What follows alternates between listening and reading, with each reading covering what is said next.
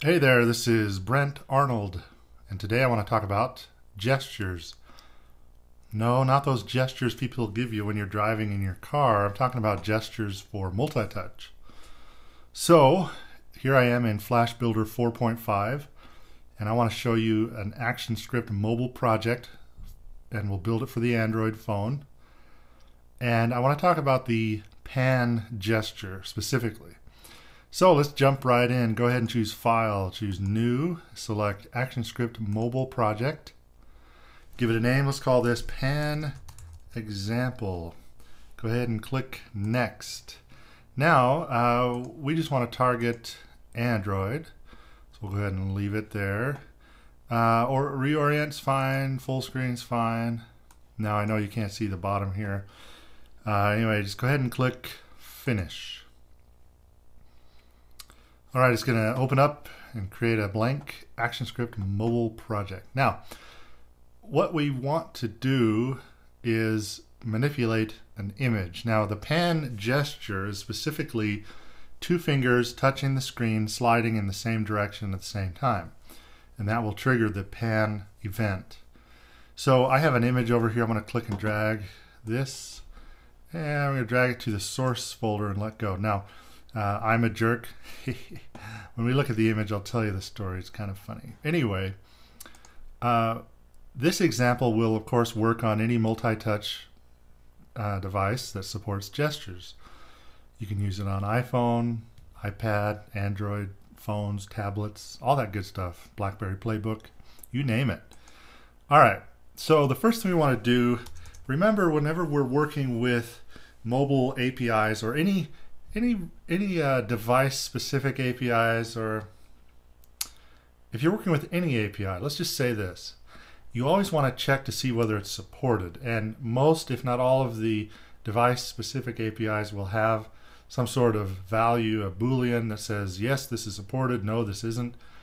That way you can handle it accordingly. You, you don't want to write an app where you just assume that they put it on their device. Maybe they download it, put it on a on a device that doesn't have gesture support. Well, you need to give the user a good experience in how to handle that. So, what we're looking at is we're going to say if multi-touch, and I'll just press press Control Space to get the code hinting. Multi-touch dot supports gesture events. So that's that's the uh, question, and it will return true if it does, false if it doesn't. If it does support gesture events, we're going to call an init function. We'll create that in a second. Otherwise, uh, we need to do something. Now, I'm not going to go into all the many things you could do. For now, I'm just going to trace uh, no gestures for you. All right, now let's go ahead and create our init function. So we say private var, oh, just kidding, private function init. And it's not going to return anything. All right, very nice, very nice. Okay, so we've got this image over here, and I want to be able to instantiate it, put it on the stage so that we can manipulate it. In order to do that, I want to embed the image. So above my constructor function, I'm going to do the embed directive, I guess we'd call that. So I want to say embed, and then I want to say source equals, and the name of it is I'm a jerk dot JPEG, and uh, yeah. Now just below that, we're uh, this embed is going to embed it and we're going to call this a private var funny pick and it's typed as a class. And the reason for that is that it's going to take whatever the object is uh, and then you can cast it to a different object. Anyway I don't remember why it's that way, but it just is. So we'll go with that because we're good like that. We're cool. We're cool like that. Okay, so what we've done is we've now assigned, we're going to say, hey, this, I'm going to reference this image. It's going to be embedded in the app. I'm going to be able to reference it. The other variable we want to create is a sprite. And the reason for that is we want to add the image to the sprite so that we can then manipulate the sprite on the stage. So we're going to create, let's say, private var, we'll call it pick, and it's a sprite. Okay, down here we have our init function. We've determined that it supports gesture events. So now let's instantiate our image and we want to get the bitmap data and, and add it to the sprite. So what I'm doing is I'm going to create a variable called picture and it's a bitmap, whoops, bitmap. And then we're going to cast it to, we're going to create a new funny pick. So what we're doing is instantiating a picture bitmap, which is going to take this data that comes in, this embedded image data, and it's going to treat it as a bitmap. Then we're going to instantiate our pick sprite. Sprite. And then I'm going to say pick add child. Let's add the picture to you so that I can reference you. So dot add child and we say picture. All right. Now, once that has been created, now we have this pick sprite, which we can then manipulate. Well, we want to add it to the stage, so I want to say this dot stage dot add child, and I'm going to add the pick. Very nice. Okay. At this point, um, what is this? What is this? Oh, bitmap, that's why it's not showing up. It's saying, hey, I don't know what that is. So whenever this happens, and notice, see, we don't have an we don't have an import for it. Whenever this happens, uh, sit there in front of it and press Control Space, and it's going to come up with suggestions and say, oh, that's the one, bitmap. Now, notice it added it to the imports. Very nice. Okay, go ahead and save that. All right, whenever we're working with multi-touch we need to establish what the events we're listening for.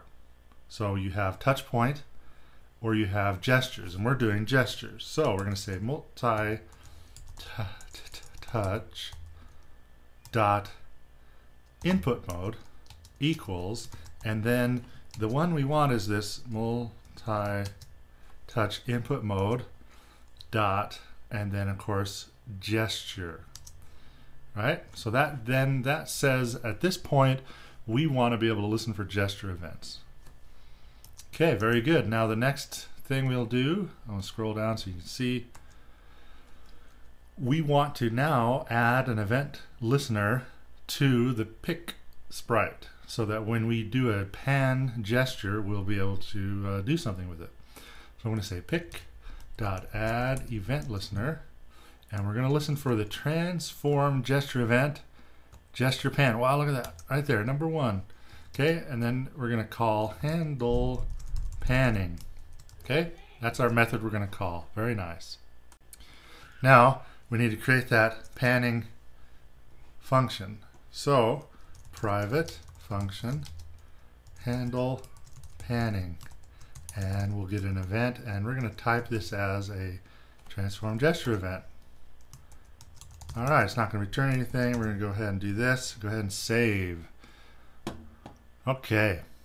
Now, what do we do? Well, when we get a transform gesture event specifically tied to a gesture pan, we want to then manipulate the image accordingly. So we're going to say pick dot x and we're going to add to its existing value the what we call the offset. So it's event dot offset x, right?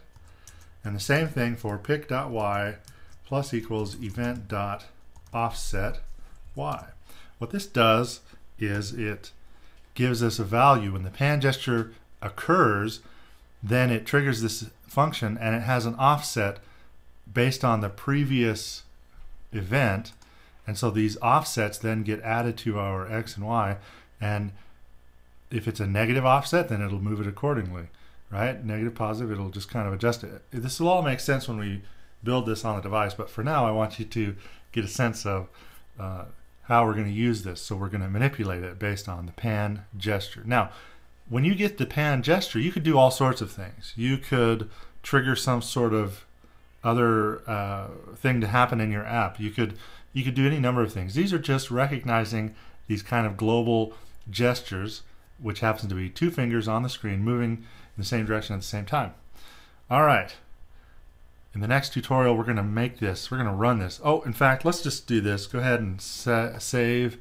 Uh, let's go ahead and we're going to do run configurations and double click mobile app and then it'll recognize it. And then I want to do desktop and we're going to do old Droid 2. Let's just take a look at this, see what it looks like. All right, now we have this image and uh, of course you can't see that. Oh, that, that didn't help me. It's a big image, isn't it? All right.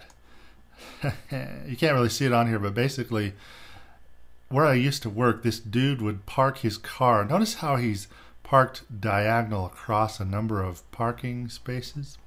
Well, I was being funny one day and I took my beat up old Ford Windstar and I parked it diagonally next to him because I thought, I'm a jerk. so, anyway, that's what that image is. It's me being funny, parking next to some dude who thinks he's cool because he has a nice sports car. But I'm cool too because I got a nice minivan. Minivan coming at you. All right, next tutorial, we're going to run this on the device. Thanks for watching. Stay tuned.